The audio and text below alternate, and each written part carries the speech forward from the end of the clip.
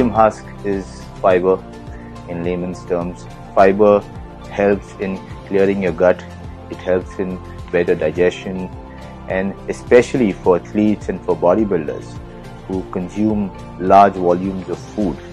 And when they're on a low carb diet because you cut your diet you cut your carbs you're also low on fiber. Psyllium husk will help replace all the fiber that is missing for people with cholesterol problems uh, this the addition of psyllium husk can definitely lower your cholesterol initially for a beginner i would advise taking 2 teaspoons 5 grams in the morning and 5 grams in the night so in the night before they sleep, they can take a glass of water, 200 ml. You can add 5 grams into it, drink it, and fall asleep. Because by the time you get up in the morning, it'll help clearing the waste products. It'll keep your gut clean.